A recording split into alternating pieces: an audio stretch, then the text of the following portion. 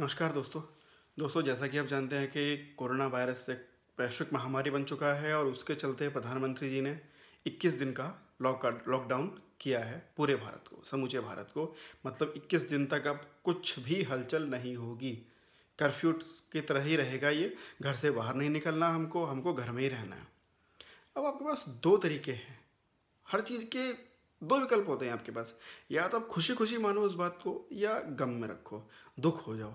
पहला है कि दुखी रहोगे आप कि भाई इक्कीस दिन के लिए नहीं जाना पड़ रहा कहीं भी, मुझे पार्टी करनी थी, मुझे यहाँ जाना था, मुझे दोस्तों से मिलना था। बहुत सारी चीज़ें होती हैं जो कि उसकी कोई मंजूरी नहीं है आपको। आप अभी कहीं नहीं जा सकते। दूसरा है कि आप इक्कीस दिन को ना एक अपॉर्चुनिटी समझें और ये समझें कि इस इक्कीस दिन को मैं कैसे कैसे यूज़ करूँगा। आप इस इक्कीस दिन का पूरी एक लिस्ट बनाओ, चार्ट बनाओ जोन जोन सी किताबें सेल्फ हेल्प बुक या और भी कोई किताब, कहानी की किताबें या फिर कोई मोटिवेशनल किताब या फिर कुछ भी, कोई कविता की किताब जो पढ़ना चाहते थे आप, नहीं पढ़ पा रहे थे। क्यों? क्योंकि सुबह आपको दफ्तर जल्दी जाना पड़ता था। शाम को दफ्तर से लेट आते थे आप, आपको समय नहीं मिलता था। वो आप पढ़ सकते हैं। आपको घर में कुछ काम करवाना था। खुद करना था, करवाना नहीं था, खुद करना था। जिसके लिए आपको आपके घर वाले बीवी कहती आती थी कि ये कर दो, ये कर दो, ये कर दो। आप उसे कर सकते हैं इक्कीस दिन। क्योंकि कोई फ़ोन करने वाला नहीं है, कोई कहने वाला नहीं, कोई पूछने वाला नहीं, घर से बाहर जाना नहीं। आपका बड़ा मन कर रहा था, मैं वो ऑनलाइन कोई चीज़ सीखूँ, मैं पियानो बजाना सीखूँ, मैं पेंटिंग्स बनाना सीखूँ। वो आप सीख सकते हैं इसमें। आपका मन करता है, मैं किताब लिखूँ। किताब लिखने का शौक़ होता है, किसी को शायरी लिखने का शौक़ होता है बट वो ऑफ़िस के चलते, दफ्तर के चलते लिख नहीं पाता। उसको समय नहीं मिलता कि वो कुछ चीज़ें लिखे, उसको एकांत का रूप मिले, आपको अब मिला है एकांत।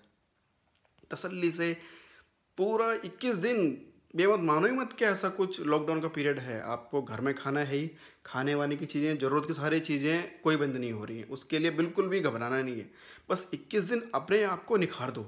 ये 21 दिन में अपना कोई स्किल, कोई चीज़ पढ़नी चाहती थी कोई आपको आपको मतलब कोई ऐसा कोर्स करना है जो आपको अपने काम में अच्छा लगेगा, वो कर दो अब इक्कीस दिन में।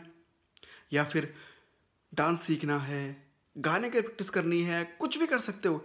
इक्कीस दिन आपको इतने मिले हैं, अच्छे मिले हैं कि कोई पूछने वाला नहीं है, भैया, कहाँ है? तो यार ऑफ़िस में आया, वेट कर दें, या कुछ भी कोई कहने वाला नहीं है। तो मेरी इस बात को मानो, मोदी जी की बात को मानो 21 दिन तक घर में रहो और जो कुछ नया सीख सकते हो या जो भी ऐसी इच्छाएँ जो अब तक आप नहीं कर पाए थे, दफ्तर के चलते, काम के चलते, जिम्मेदारियों के चलते, वो आप करो, आपको मज़ा आएगा और इस मज़े मज़े में कब कोरोना भाग जाएगा, आपको पता भी नहीं चलेगा।